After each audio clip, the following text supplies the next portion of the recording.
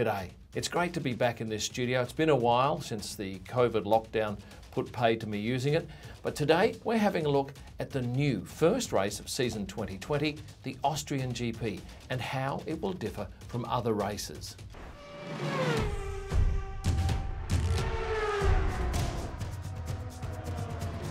Are you excited about the Austrian GP? It's going to be dramatically different than any other race because, of course, we have no crowds. We also have a dramatically lower number of people in the paddock. Now, teams have been limited to 80 people per team. Uh, we're not going to have anywhere near the number of media. We're not going to have any corporates. We're not going to have any spectators. And it's going to be a completely different setup. So let's jump straight away to the paddock. How will it look? Well, for a start, we won't be having any of these magnificent hospitality suites. They won't be coming. So obviously the teams get to save a fair whack of money there. But this will not be the scene that you see in the paddock, where you've got on the left hand side all the engineering motorhomes and on the right hand side the hospitality suites. So uh, you can effectively just wipe out everything on the right hand side here, and all the action will be on the left hand side. But in the paddock, what will be different? Well, we believe that every driver will be wearing masks. Certainly, all of the people in every team have to stay within their team. So no one from Williams can nip next door and have a chat with someone from Racing Point. That won't be happening. There'll be very strict rules in regards to that.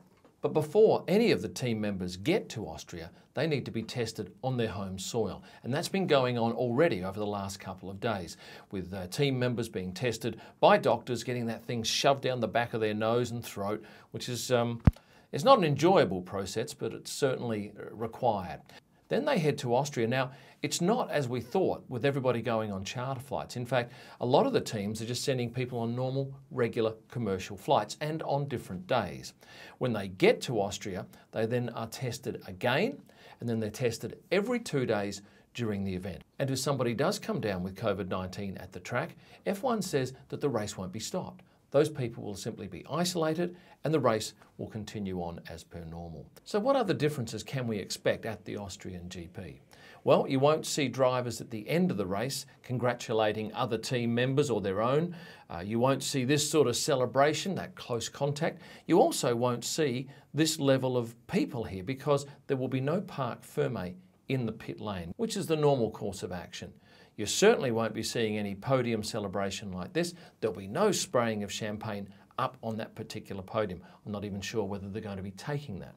So what will happen post-race?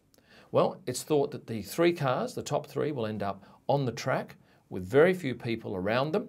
And just quickly before I forget, I'm holding here the Sergio Perez photo book. This is one of 23 different books, and uh, I urge you to get online to kymillman.com and pick up a copy of your favourite driver's photo book. There's also Men of the Paddock and Women of the Paddock. And as you can see, this is not paper, this is substrate. This is quite solid card. This book is the soft cover.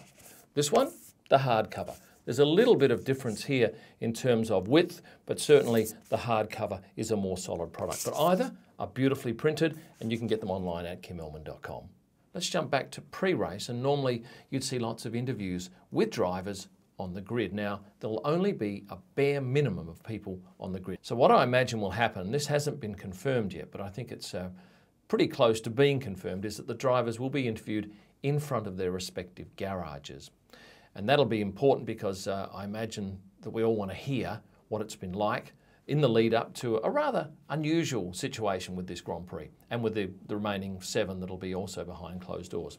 Although I am told that it may well be that uh, after race three, that there will be a review of the situation to see whether any more people can be allowed in. I should tell you, media-wise, I won't be going because there are only uh, a handful of photographers who are allowed to attend the event, plus one photographer per team. Now, whoever is shooting uh, for that team can go, but they can't go outside the team bubble.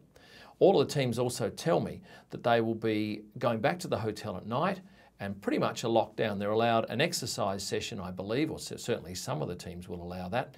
But otherwise, they can't go out. They will not be going out to dinner at restaurants in town. They are to remain pretty much exclusively amongst their group. Uh, interestingly enough, I was asked about Thursday track walks, and I didn't think they would happen, but I'm told that they will happen. And if that's the case, photographers, those that are lucky enough to be there, the 15 or so that get an invite, will be allowed to shoot them, but only from behind the wire. Now, normally, we'll be out on the track with these drivers, walking with them, side on, behind, in front, and have some sort of uh, close interaction. That won't be happening. Harking back to the media, normally, this is the media centre at one of the tracks, normally every one of these seats would be full, especially on race day. And while very few photographers will be attending, that will be the same with journalists. There'll be a bare minimum. And normally in the media centre, which you're looking at here, you'd find that every one of those seats would be full of, in this case, photographers, but journalists would be in a separate area. That won't be the case here. And I'm thinking in a media centre that might normally house 120 photographers, there'll be five maybe 10 tops. Jumping back to race day, there'll be no drivers' parade. There'll be no need to because the drivers have no one to wave to. And as I mentioned before, the interviews that would normally be done on that drivers' parade would be probably done standing outside the garage and with the reporter social distancing. It might even be just a set up microphone. We'll know come Sunday the shots that will be coming out of Austria will be markedly different too than what you normally see. So this is an iconic shot at the top of the turn, at the top of the hill, and it's uh, full of spectators in the background, mostly Max supporters on the right. But this year, you're going to find that those seats are completely empty. Now, whether they put some signage over there, we're not quite sure yet. But with Austria, there are a number of shots that won't change. Shots like this, where you don't see any crowd and you just get beautiful trees behind, and of course, the last turn where you see the beautiful red and white of the Austrian flag painted vividly on the runoff areas. Another Austrian tradition, the green carpet, won't be happening either. Traditionally, on the Saturday and Sunday, you'd have hundreds of fans down below waiting for their favourite driver to come through. And, and almost all of them did. They'd sign autographs and chat to the media. That won't be happening. Now, I'm not even sure how close spectators can get to the track. Obviously, at some point, there will be a gate which no spectators will be allowed. And I don't think it's going to be anywhere near as close as this, which is right up next to the um, main grandstand on the pit straight. I'm kind of thinking they'll have a, a separate gate further out, and I have no doubt that there will be people lining up there hoping to get a shot of the drivers coming in because normally there's only that one road that goes into the track and the drivers must come in and out of there. And I gather there will be some people there taking pictures and if you've got any I'd love to see them and would love to share them with my Instagram audience. Some other shots that will look markedly different this shot here with beautiful crowds at the top of the shot, that won't be happening. This shot here, which of course we have max supporters in that stand, and you can shoot with a quite a long lens from a long way away and get an orange blur in the background. Forget that, that won't be happening either. And what of the rest of the calendar? We're still in the dark as to what's happening post the final race on that calendar already put out, which is the Italian race. I'm hearing there'll be another race in Italy and one in Portugal among others. But of course, you've got America, which is in all sorts of dire straits with COVID. Brazil's not going too well. Mexico's having troubles. So those races, uh, I would suggest, are doubtful. And to plan this far out and just hope that those situations turn around is a fair gamble. So there is plenty up in the air at the moment. And I think the fact that we're getting up and running next week with Austria is such a great tribute to F1 they've managed to pull this off. I think it's going to be intriguing to see how many people tune in to watch these races. Because there is no spectator component, because everyone has waited so darn long. When was our last race? It was Abu Dhabi, wasn't it? In uh, late November last year, early December. So that's a, a heck of a long time without an F1 race. And it's not the longest time we've gone. There has been examples of previous years where we've had longer gaps. But there is such a pent-up demand for Formula One that I think these are going to rate pretty darn well. And if you're a TV network, you'd be happy to hear it because you've missed out on quite a lot of content. In terms of photography, I'm not sure what images I'll be able to uh, access. I know that uh, some teams are making images available and F1 may also make some available. But it'll all come to a head next Thursday when it kicks off with Media Day, albeit a slightly more subdued Media Day.